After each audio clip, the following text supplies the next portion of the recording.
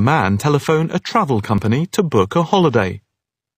First, you have some time to look at questions 1 to 4.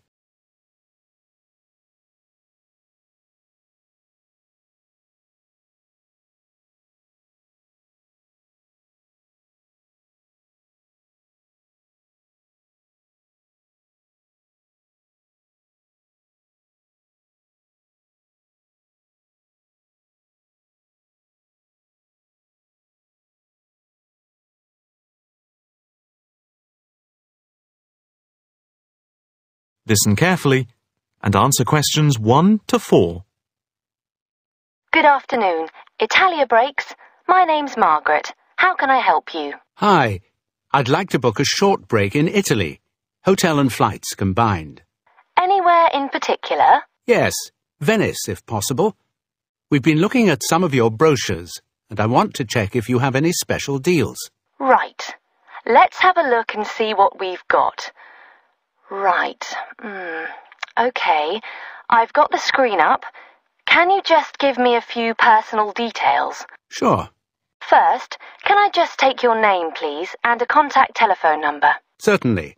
It's John Framlington. That's F R A M L I N G T O N. And I'll give you my mobile number. I can't always remember it. Yes, here it is. It's 07987 double four double one nine two. Double four double one nine two. That's it. And how many people is it for? Just two adults. Okay. Any particular price range? It's our first wedding anniversary, and uh, we. Congratulations. Thank you. So we wanted somewhere nice, but not too expensive.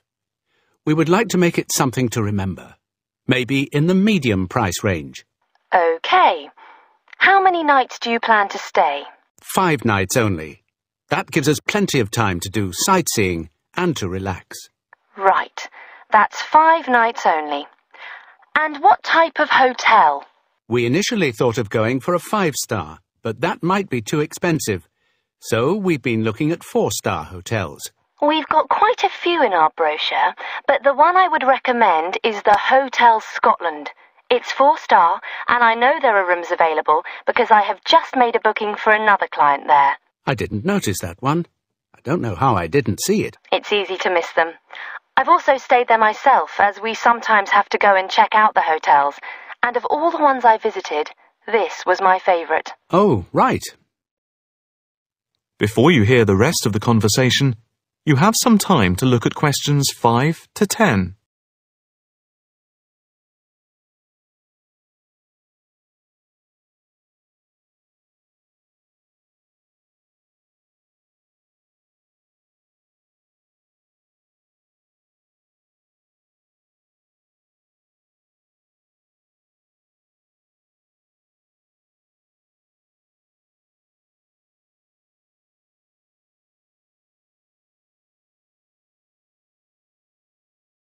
Now listen and answer questions 5 to 10.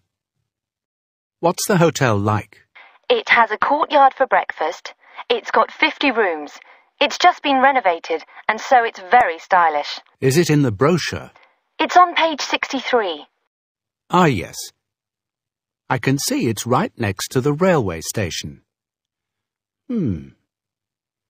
But what appeals to me most of all is that the hotel's very convenient for all the water buses.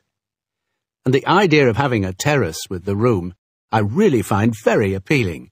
These are big pluses. It's probably the most central hotel we have. You might think it would be a bit noisy as it's in the main commuter area and a place where tourists go. But from experience, I can assure you the hotel is very quiet. Most of the rooms are facing away from the main thoroughfare. Can you tell me when you'd like to leave? The 17th of March. Coming back on the 22nd. Okay. I'll just check again if there are places available. Two adults sharing. Hotel Scotland. Yes, that's gone through. Okay. And how much is the break, including flights? There's a special rate at the moment because it's off season. For five nights, let's see, It's £716 for a double room and flights. That includes airport taxes, but not insurance. Each? No, for two adults sharing. That doesn't sound too bad at all. What reductions do you have at the moment? Well, if you make the booking before the 17th of February, you get a further 15% reduction, subject to availability. That's a big saving. Yes, it makes the price very reasonable indeed. Do you need travel insurance? Yes, I suppose we better had. For seven day cover for both of you, it's £17.88. OK, Do you want to book today? I think we should, but can I just check with my wife? Can you hold the booking for me? I can hold it until 1 pm. OK, that's fine. I'll get back to you immediately. I'll just give you a reference for the reservation. OK, It's F A P S J M 1 5. thanks. I'll get back to you as soon as I can, and definitely before 1 p.m. This is too good an offer to miss. That is the end of part one. You now have half a minute to check your answers.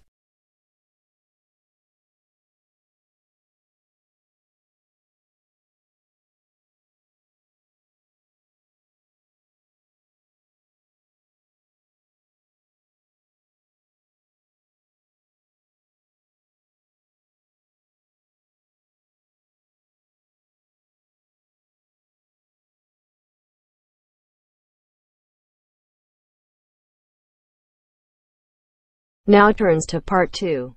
Part 2. You will hear a talk by a councillor on plans for the development of an old industrial site. First, you have some time to look at questions 11 to 13.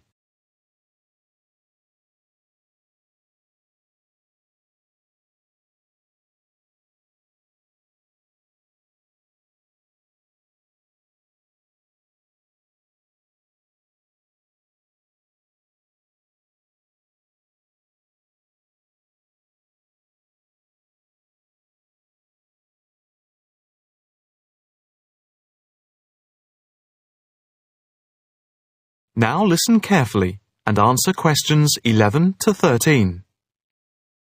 Good afternoon, ladies and gentlemen.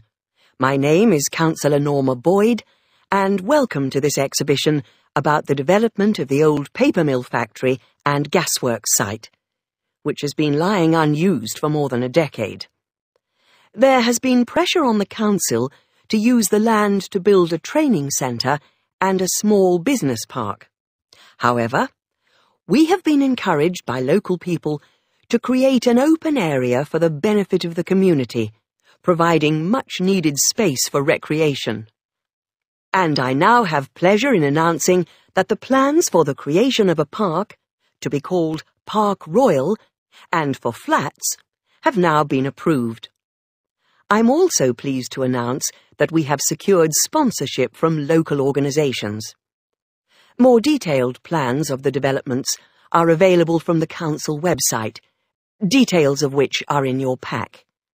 In the meantime, I'd just like to take you through the plan here on the screen.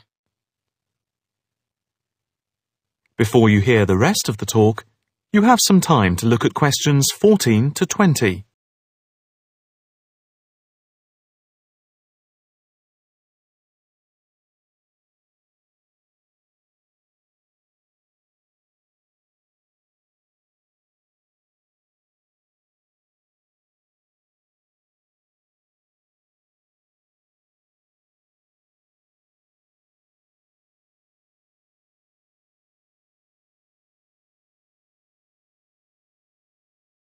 Now listen carefully and answer questions 14 to 20. If we start here at the bottom, you can see Parkside Street, where the main entrance to the park is. On the left of the entrance, in the bottom left-hand corner of the plan, there will be a block of 40 studio flats. On the other side of the entrance, there will be some workshops for local businesses. There will also be another entrance here on the top right, which leads into Pear Street. Here, in the centre of the park, we will have an ornamental lake with paths radiating north, south, east and west to the different areas of the park. In the top right-hand corner, just by the Pear Street entrance, there will be a large sports area with two football pitches and four tennis and volleyball courts. Just here, beside the pitches, on the same side of the path, will be an outdoor swimming pool. Now, in the top left-hand corner, a walled flower garden is planned with a rockery and a water feature with walkways, seats and lots of shady areas for the summer. Next to this, a sculpture garden is also planned. Now, let's see. Just here, below the walled garden, there will be a grassy amphitheatre with a permanent covered stage for open-air concerts. We hope that local schools and colleges will use this theatre to showcase student work. In the bottom left-hand corner of the plan, you can see that above the block of flats there will be a play area for children, and directly to the right of this, just near the main entrance, there will be a wild area. More trees will be planted here, and in the middle will be built an educational centre for use by local schools to encourage children to take care of the wildlife and look after the trees and plants. And finally, in the bottom right-hand corner of the park will be a cafe, opening on to Pear Street. And now for questions. If anyone would like to ask anything, I and my colleagues are only too happy to oblige. Yes, the lady in the front row, if I could have your... That is the end of part two. You now have half a minute to check your answers.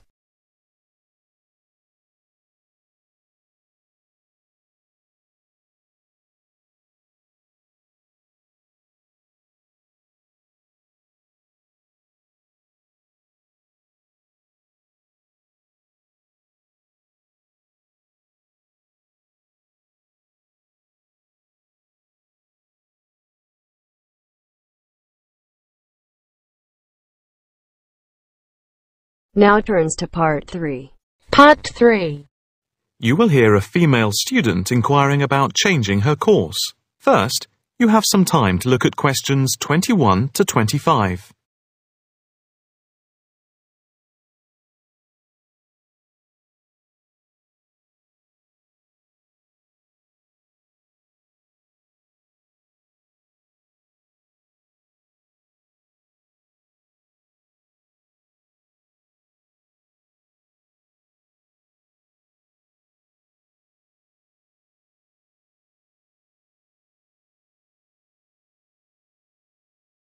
Now listen carefully and answer questions 21 to 25. Hi, my name is Rosanna McLaren. Um, I'm a bit early, but I have an appointment to see the assistant registrar, Andy Matthews, at 10 a.m. Hi, I'm Andy Matthews. Nice to meet you. Nice to meet you. My tutor advised me to come to see you about changing my course. Yes, I've had an email from your tutor, David Vine. Let me just call it up. Here we are. It says, Tutee, Rosanna McLaren, is on the Wednesday part-time course and wants to change to the distance learning program. Have you any problems with the course itself? Oh no, I love it. I think the course is really worthwhile. The theoretical sessions once a week on Wednesday from 10 a.m. to 3 p.m. are really good. You have two two-hour sessions then? Yes, that's it. And I have to say, I think the practical session from 4 through to 9 in the fashion workshops are also good fun.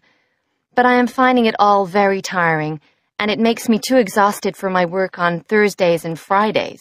You work the other four days of the week. Yes, and some Saturdays. I see. So, what do you want to do? I'd like to change to the program with the distance learning component instead of the Wednesday sessions. Yes, that is a possibility.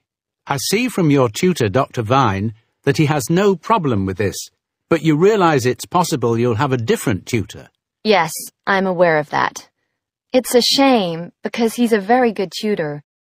What do I need to do now? First, we just need you to fill in this transfer form and the claim form for the reduction in fees.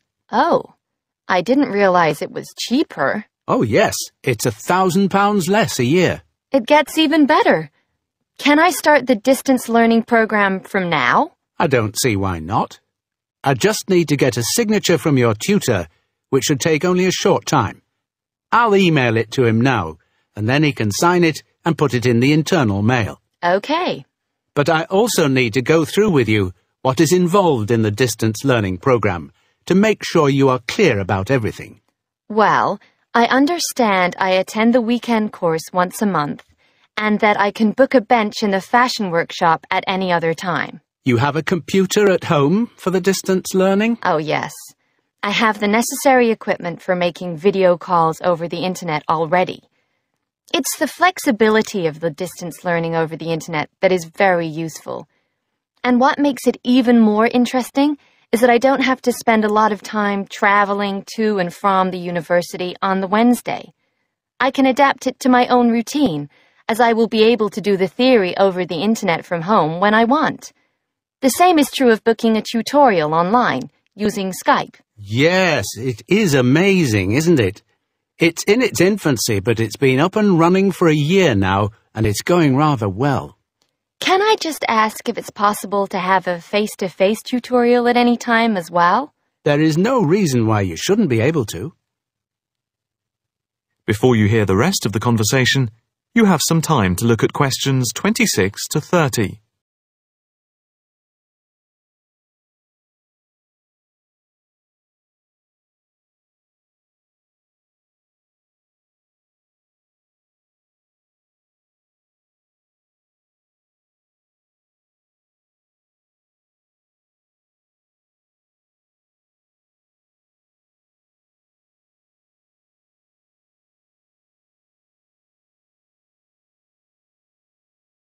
Now listen carefully and answer questions 26 to 30. What about the assessment for the distance learning? I take it that it's the same as for the other program? Let me see. Each month you are expected to keep a written course diary and to present a seminar paper, and at the very end of the course there will be a written exam which will account for 30% of the total marks. What about the coursework? How much does it account for? The design portfolio, which you need to present at the end, accounts for 50%. I would point out just one thing, and that is that on the distance learning program, some tutors like to see the design portfolio twice each term to make sure you're on the right track. But of course you can take it in at any time to show your tutor. And as part of the assessment for the portfolio, you have to present at least one fashion item at a fashion show at the end of the course. Is there anything else? No, that's it. Thank you for all your help. No problem. Hope it all works out well for you now. That is the end of part 3. You now have half a minute to check your answers.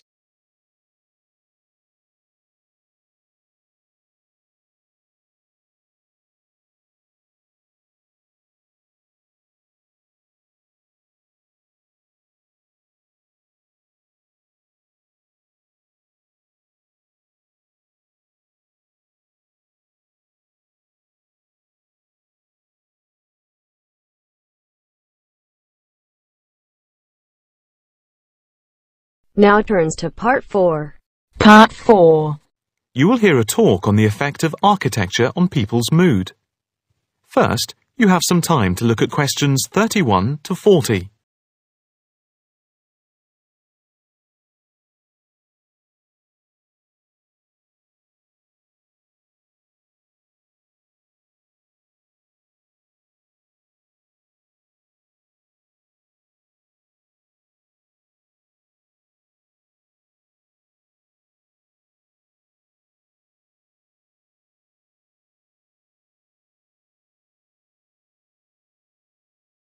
Now listen carefully and answer questions 31 to 40.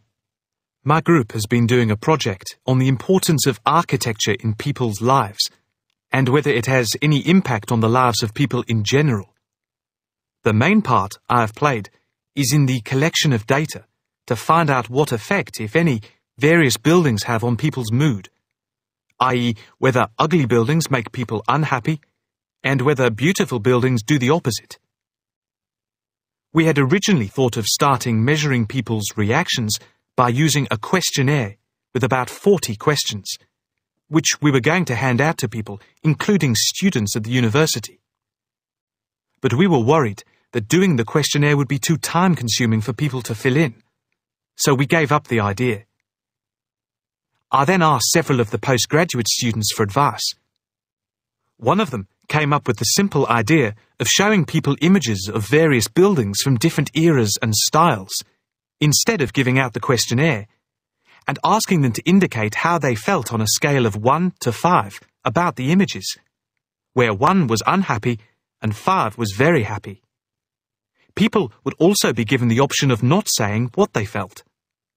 Using the scale meant that it would be much simpler to record people's reactions. I decided to follow this advice, and so the first stage was to collect a large number of images. I used Google to print off colour images of views of houses and apartment blocks where people live, and different types of buildings where they work. I started with about 30 or 40, and then reduced them to 10 images. Media resources in the Amory building at the Judd Street branch of the university helped me produce the final images. I had them blown up to A4 size, and we used colour rather than black and white to make the detail on the images clearer. We made five sets of images, and for protection when handling, we pasted the images onto hard card. Then, using a machine to wrap them with plastic, we laminated the cards. Five of us targeted different age groups. We went to a local school where we obtained permission to ask a group of teenagers between 11 and 18. We also asked a sample of the general public, including tourists from all over the world, as they exited the Tate Modern in London, what they thought. We aimed to ask people from different age groups, namely 20 to 40 and 50 and over. What our group learnt most from the project was first of all the value of teamwork. And secondly, we found that we had to appoint a leader to stop us pulling in different directions and falling apart. So this turned out to be an invaluable lesson for all of us. As to the findings, for us they proved intriguing. In the end, the sample consisted of 311 respondents. I thought initially that people wouldn't be interested in taking part. With the youngest age group, their reaction was very mixed. It was clear that the youngest group had no pattern of preference at all, as they frequently gave no reaction to the pictures. For the 20 to 40 age group, we found that they tended to score more in the middle range, around 3. We found that out of the three groups, the most likely to be favourably affected by the images that is, they were more likely to score the images as 5, were those aged 50 and above. And nobody in this age group failed to say what their reaction was, which was unique for the three groups. In total, I have to say that about 71 people indicated that they had no reaction at all to an image. Our general conclusion is that we need to find out more about why people react as they do by perhaps giving them a chance to give reasons for their decisions. I would like to finish there and give my teammates a chance to add anything I've missed or take any questions or suggestions. That is the end of part 4. You now have half a minute to check your answers.